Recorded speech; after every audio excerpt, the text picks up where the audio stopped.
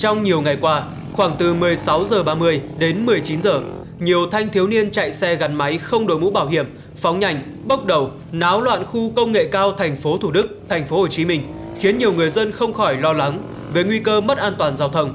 Phát hiện nhóm thanh thiếu niên này, cảnh sát giao thông thành phố Thủ Đức đã mật phục, tổ chức chốt chặn và bắt giữ. Một phần đường D2 khu công nghệ cao thành phố Thủ Đức đang trở thành bãi tập đua tự phát cho nhiều dân chơi. Đáng nói, đoạn đường nối giữa đường D15 và đường D2 đã được lực lượng chức năng rào chắn, răng dây cảnh báo khu vực nguy hiểm, không phận sự miễn vào, nhưng một số người dân tự ý mở đường đi vào bên trong. Khu vực này trở nên đông đúc vào chiều tối, đặc biệt những ngày cuối tuần, nhiều người dân tới đây đạp xe, chạy bộ. Ngoài ra, nhiều quái xế cũng lui tới tuyến đường này để phô diễn kỹ thuật. Một số người khác chạy mô tô đến đây đặt vật cản, mô phỏng đường đua tập bò cua, tạ gối. Nhiều người dân đi xe đạp qua khu vực này lo lắng, sợ quái xế lạc tay lái, chẳng may tông trúng người.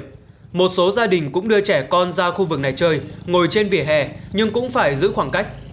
Qua công tác nắm địa bàn, chiều 21 tháng 11, đội cảnh sát giao thông trật tự thành phố Thủ Đức đã mật phục tóm gọn nhóm thanh thiếu niên nói trên, đồng thời mời họ lên trụ sở làm việc.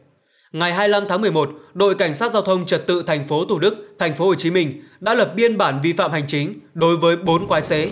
Tất cả đều đang ở độ tuổi vị thành niên. Đồng thời công an cũng làm việc với chủ phương tiện giao xe cho những người vi phạm nói trên. Công an xác định nhóm người này thường xuyên tụ tập tại tuyến đường D15 nối với đường D2, phường Tăng Nhân Phú B, thành phố Thủ Đức. Nhóm này điều khiển xe gắn máy với tốc độ cao, không đội mũ bảo hiểm, bốc đầu xe, tiềm ẩn nguy cơ gây tai nạn giao thông. Lãnh đạo Ủy ban Nhân dân phường Tăng Nhân Phú B cho biết, tuyến đường D15 nói trên cũng là nơi nữ người mẫu Ngọc Trình thực hiện động tác lái xe phản cảm vừa bị cơ quan chức năng xử lý. Vị này cho hay, tuyến đường trên chưa được kết nối giao thông do khu công nghệ cao thành phố Hồ Chí Minh quản lý. Thời gian qua, phường đã phối hợp với ban quản lý khu công nghệ cao cùng lực lượng chức năng thường xuyên tuần tra kiểm soát, đảm bảo an ninh trật tự khu vực.